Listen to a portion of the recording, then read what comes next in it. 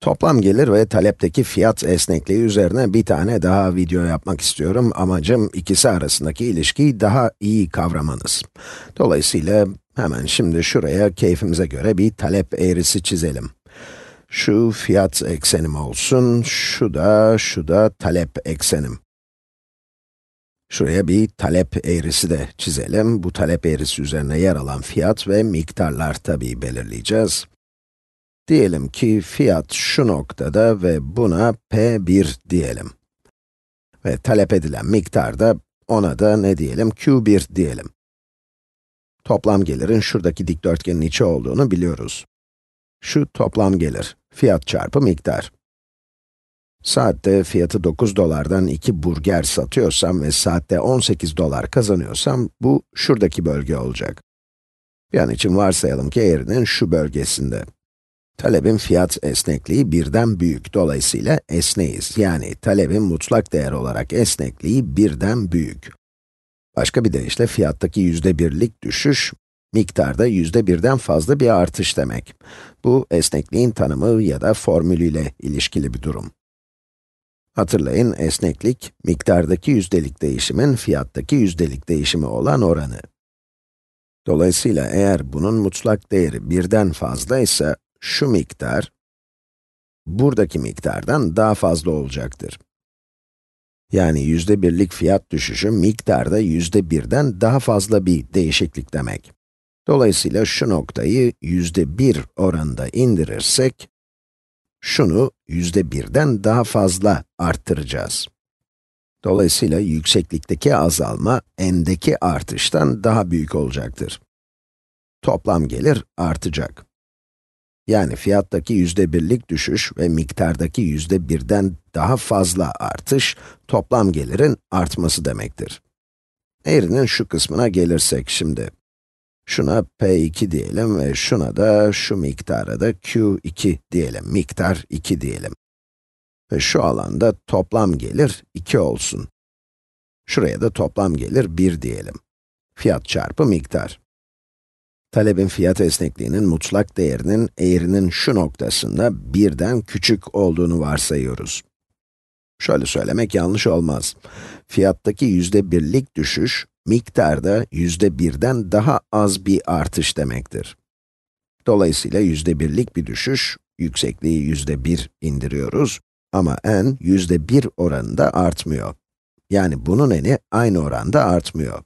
Bu genel anlamda bu bölgenin küçülmesi demek. Bu alan daha küçülecek.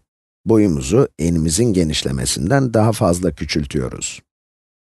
Bu durumda toplam gelir aşağı gidecek. Hatırlayın bu esnek bir durum. Dolayısıyla esnek olduğunda fiyattaki düşüş toplam geliri yukarı çekme eğilimindedir. Esnek olmadığı durumlarda fiyattaki düşüş toplam geliri aşağı götürür. Tahmin edebileceğiniz gibi birim esneklik durumunda, şuralarda bir yerde yüzde birlik fiyat düşüşü, talep edilen miktarda da aynı oranda yüzde birlik bir artış demektir. Dolayısıyla birbirlerini götürürler ve gelirde göze görülür bir değişiklik söz konusu olmaz. Bunu söylememin sebebi, birçok ekonomi ders kitabı, gelirde bir değişiklik olmaz der. Ama eğer daha ayrıntılı bakarsanız, şuraya yazayım, şu noktada, talebin fiyat esnekliğinin mutlak değeri 1. Diğer bir deyişle, fiyattaki yüzde birlik bir düşüş, miktarda yüzde birlik bir artışa tekabül ediyor. Ama bu işin matematiğine baktığımızda, şu fiyat 3 diyelim, buna da miktar 3 diyelim. Şurası da toplam gelir 3. Şu görülen alan. Ve fiyat 3 çarpı miktar 3'e eşit olacaktır. Eğer fiyatı yüzde bir indirirsek, fiyatımız 0,99 oranına gelecektir.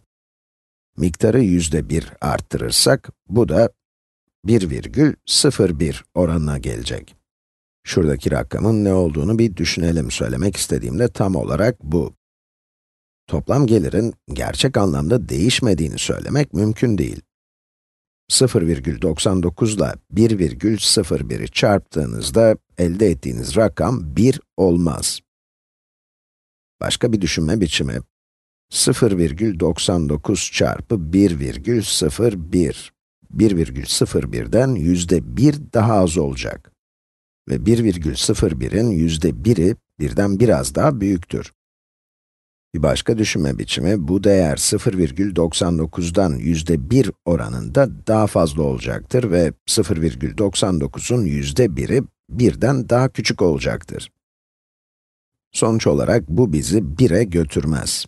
Bunu hesaplayabilirsiniz. 0,99 çarpı 1,01 ise 1'e yakın. 0,9999 çarpı p3, q3 olacak.